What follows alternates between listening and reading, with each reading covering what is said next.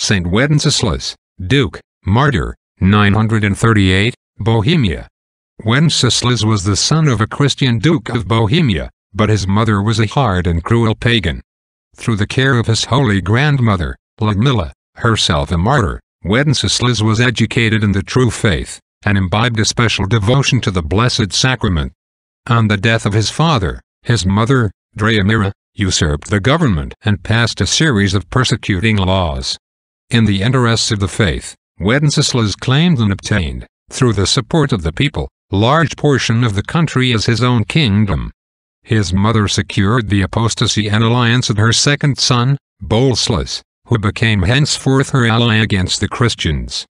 Wenceslas meanwhile ruled as a brave and pious king, provided for all the needs of his people, and when his kingdom was attacked, overcame in single combat, by the sign of the cross, the leader of an invading army. In the service of God he was most constant, and planted with his own hands the wheat and grapes for the Holy Mass, at which he never failed daily to assist. His piety was the occasion of his death. Once, after a banquet at his brother's palace, to which he had been treacherously invited, he went, as was his wont at night, to pray before the tabernacle.